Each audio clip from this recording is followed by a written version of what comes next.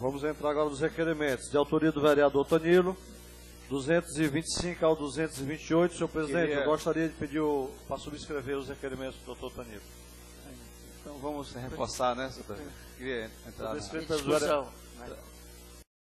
Na discussão. Queria, Agora- eu queria só não. discutir aqui um... um Pois não. eh, presidente. Esse aqui, o número, na Barão de Biapaba, aqui, é o 225, né? Que o vereador, ele pede para eh, consertar um buraco lá na, na Barão de Biapaba. Esse buraco aqui eu já falei dele, já. Fui na secretaria, mas até agora não resolveu. É, ele pede mais aqui um container para a Rua 1, né, na Vila Casé.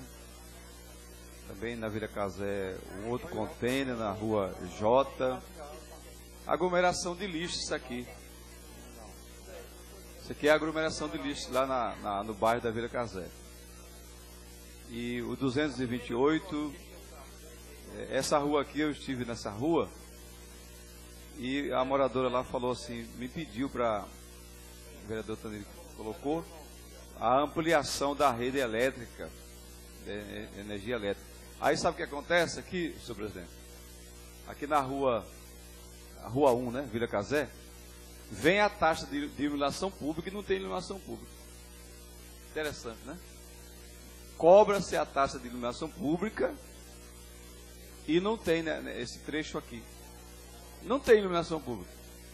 A pessoa paga, paga iluminação pública, vereador Dutti, sem ter iluminação pública. Aqui nessa rua aqui, ó. O vereador doutor Tanilo, ele pede a ampliação da rede elétrica para a rua, rua 1 na Vila Casé. Então esse trecho aqui está pedindo para ampliar a rede. Mas vem a taxa de iluminação pública. E não tem a iluminação pública.